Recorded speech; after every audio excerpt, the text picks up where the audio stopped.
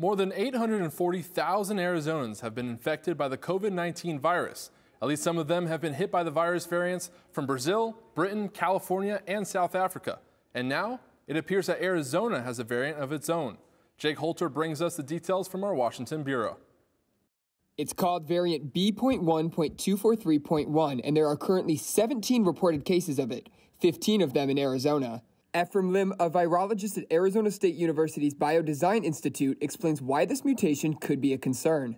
Um, the E484K mutation has been shown to reduce antibody responses from monoclonal antibodies that are used as therapies and also reduces the neutralization of post vaccination serum. Simply put, the mutation in the Arizona variant reduces the effectiveness of some antibody treatments for COVID 19 victims, as well as slightly lowering vaccine efficacy rates. Dr. Joshua LaBaer, the executive director of the Biodesign Institute, says the Arizona variant has the same mutation as the South African variant that was only recently found in the state. And vaccines have been effective against that variant, he says.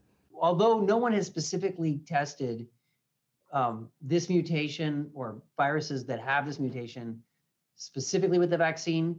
The vaccine trials, like the Johnson and Johnson vaccine trial, was done in South Africa after um, viruses with that mutation were already prevalent there. Even though emerging virus variant may sound alarming, Will Humble, executive director of the Arizona Public Health Association, says it's not a reason to panic.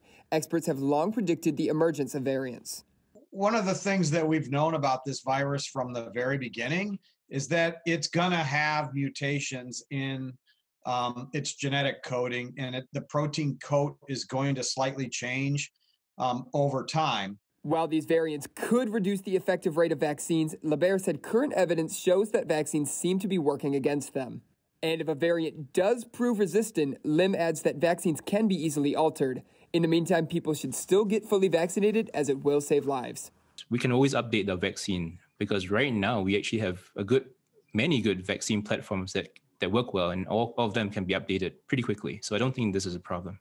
In Washington, Jake Holter, Cronkite News.